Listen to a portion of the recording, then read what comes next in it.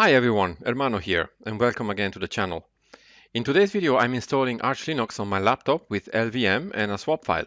So I already downloaded the ISO and burned it to my USB stick, and I booted up my laptop and now connected to SSH so that I can have a bigger terminal here. And I do have an Ethernet cable plugged in, so I have already an, an Internet connection. If you don't, and if you have Wi-Fi, you would type in right now Wi-Fi dash menu and when you hit enter, you'll get a list of Wi-Fi's around you. You can select yours, enter the password, and you'll have internet. So I don't need to do this, so I'll cancel this command and let's start with the installation. So the first thing I want to do, since I have internet now, is to synchronize the time with internet. So I'll type in time, date, ctl, set dash NTP, true, and hit enter. Now I'll type in lsblk and as you can see, I have one disk here called SDA, which is 512 gigabytes. And I want to actually create three partitions on this disk. I want to have an EFI partition, I want to have a boot partition, and the third partition is going to be our LVM partition with two sub-partitions, a root partition and a home partition. So let's begin partitioning by typing in fdisk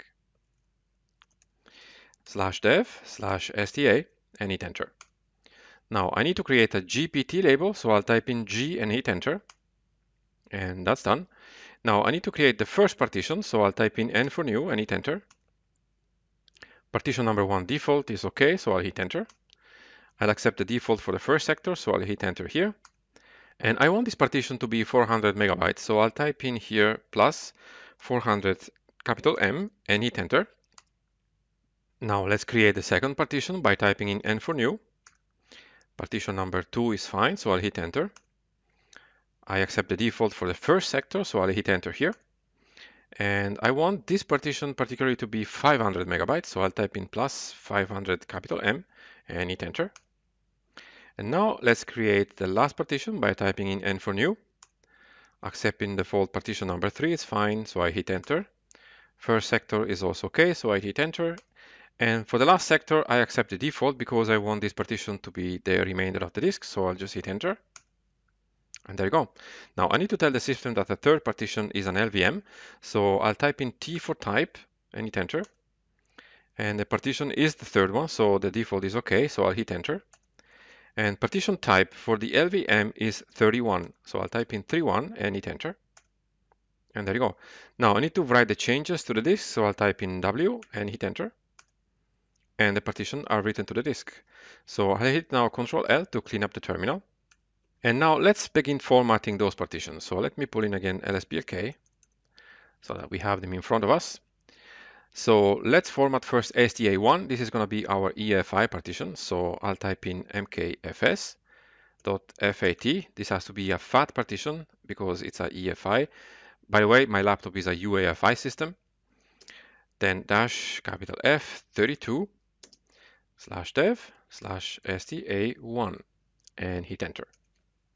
Now let's format also the SDA2 partition, which is going to be our boot partition. So we'll type in mkfs.ext4 and the partition name is slash dev slash SDA2 and hit enter. Okay, now we have SDA3, which is going to be our LVM. So creating an LVM consists of three steps. We need to create first a physical volume, then a volume group, and then the logical volumes. So let's begin by creating the physical volume by typing in pv create and then the partition name. So in my case, slash dev slash SDA3 and hit enter. Next step is to create a volume group. So we'll type in vg create and I'm going to call my group v group 0. You can call it anything you want. And then again, the partition name, so slash dev slash SDA3 and hit enter. Now it's time to create the logical volume. So I want to create two of those. I want to create one for the root user and one for the home directory.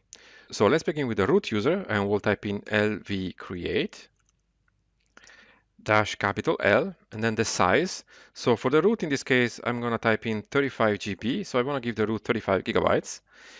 Then we'll put in the name of the group. So in this case, v group 0, in my case. And then dash n, because we want to give the name to this partition. So This partition is going to be called LV root. You can choose your own name here and then hit enter.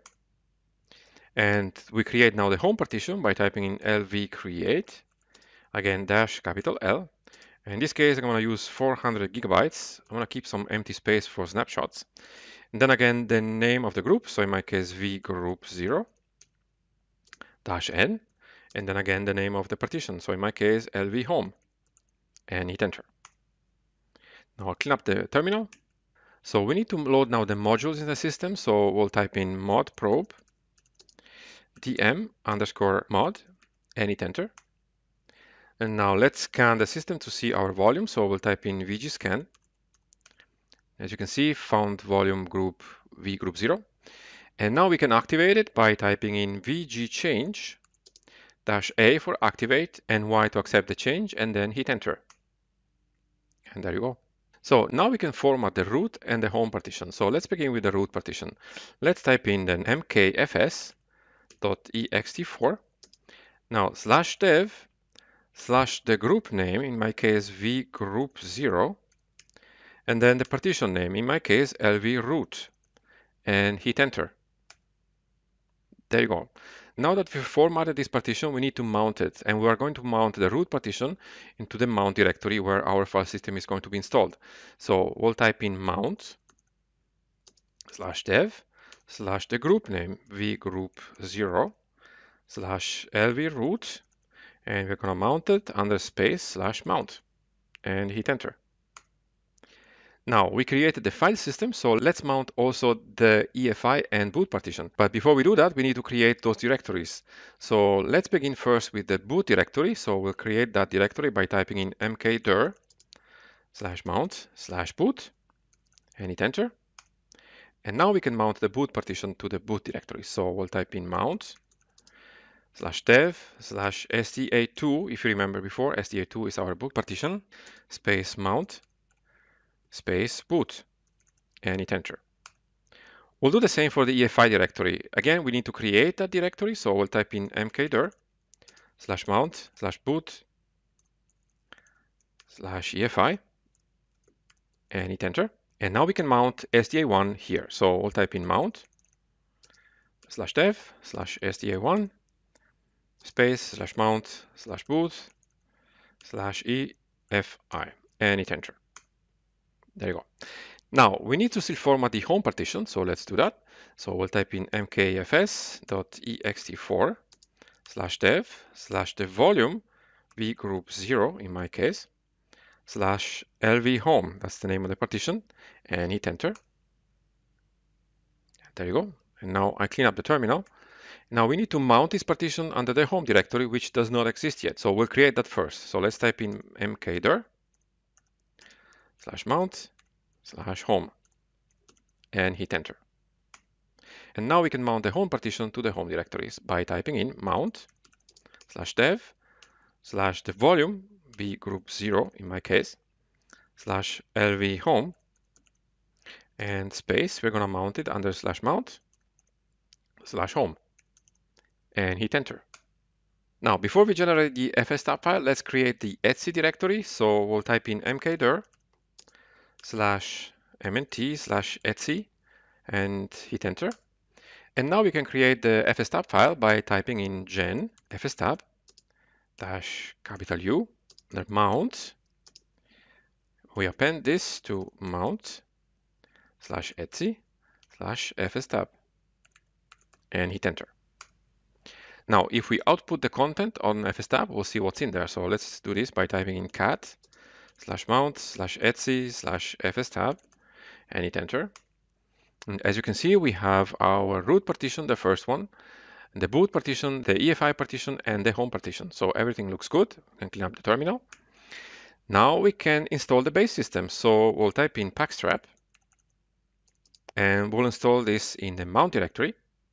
So slash mnt and the packages are base, Linux, Linux firmware. And I want to install also an editor, which uh, I will need later. So I'll type in nano. This is the editor I want to use. And I'll install also LVM2, another package needed for LVM, and hit enter. Now it's going to take a moment to download and install everything, so I'll be back when it's done. So the base system is installed, so let me clean up the terminal. So now we can enter the installation by exiting the installer, and we do this by typing in arch dash root and slash mnt and hit enter. As you can see, the command prompt changed. So now we have to take care of a few things here. So the first thing we're going to do is to set the time zone. So I'll type in ln dash sf slash user slash share slash zone info slash Europe slash Zurich. You will have to change this accordingly. And we're going to link this to etc and local time and hit enter. Now we can synchronize the hardware clock to the system clock. So we'll type in HW clock space dash dash sys2hc and hit enter. And now we can work on the locales. So first we need to edit the locale.gen file. So we'll type in nano slash etc slash locale.gen and hit enter. And you want to scroll down with the down arrow here until you find the locale you chose. In my case, it's English US, so I should be this one here where it says UTF-8, and I just uncomment this line, and then hit Control O and enter to save the file, and Control X to exit the editor. Now we can generate the locales by typing in locale-gen and hit enter. Now we need to edit also the locale.conf file, so we'll type in nano etc locale.conf and hit enter. And we'll input the strings here. lang, all capital letter, equal en underscore us dot utf dash 8 and then control O and enter to save the file and control X to exit the terminal. Now we need to create the host name. So to do that, we'll type in nano slash etc slash hostname and hit enter. And I'll name my machine Arch LVM. Then again, Control O and enter to save the file and Control X to exit the editor. Now we can also edit the hosts file. So we'll type in nano slash etc slash hosts and hit enter. Scroll down to the empty space and enter the strings 127.0.0.1 tab localhost. The next line colon colon 1 tab tab localhost again and the next line, 127.0.1.1, tab the host name, so in my case, arch LVM, dot local domain, tab, and then again the host name, in my case, arch LVM. Change these according to what you chose before. Then again, Control O and exit to save the file, and Control X to exit the editor. Now, because we're using LVM, we need to edit one file, which is the mkinit cpio conf. So let's do this by typing in nano etc mkinit cpio.conf and hit enter.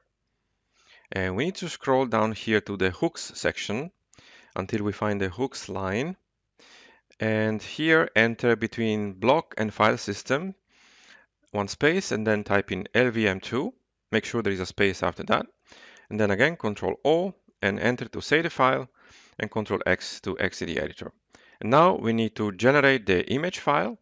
So to do that, we'll type in mkinit cpio dash p space Linux and hit enter. It's going to take a moment to generate the image. And there you go. Now let me clean up the terminal. Now we need to make the swap file. So to do that, we'll type in f allocate dash l and then the size, in my case, two gigabytes, and then the name slash swap file and hit enter. Now we need to create the swap by typing in mk swap slash swap file. And as you can see, we need actually to change the permissions here.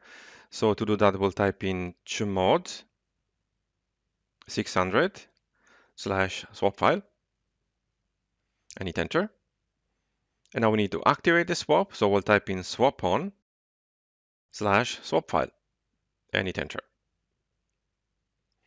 Now we need to add the swap file to the fstab file. So we'll need to call that up. So let's type in nano slash etc slash fstab. Scroll down to the empty space and enter then these lines. Slash swap file, space none, space swap, space SW, space zero, space zero. And then again, Control O and enter to save the file and Control X to exit the editor. Now let's mount also the swap file by typing in mount dash a And there you go. Now let's create a password for the root user by typing in passwd and hit enter and the new password. And now we need to install some extra packages. So to do that, we'll type in pacman-s, grub our bootloader. Then we have EFI boot mgr, which is needed for grub. And then some networking packages. So we have network manager. We have network dash manager dash applet. We have wireless underscore tools. We have WPA underscore supplicant. Then dialog. And also OS dash prober. And we have M tools, we have DOS, FS tools, and then two development packages. One is base-devel and linux-headers. Then when you're ready, we'll just hit enter. Accept the default here and accept the defaults by hitting enter. Now it's going to take a moment to install, so I'll be back when it's done. So the installation is done, so I clean up the terminal.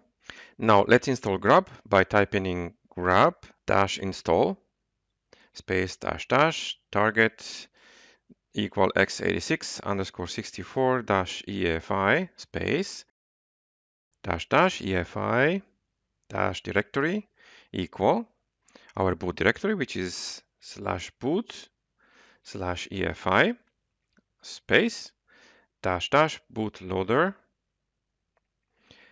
dash ID equal grub. And then hit enter no error reported. And now we need to generate the configuration file. So we'll type in grub dash mkconfig dash o slash boot slash grub slash grub cfg and hit enter.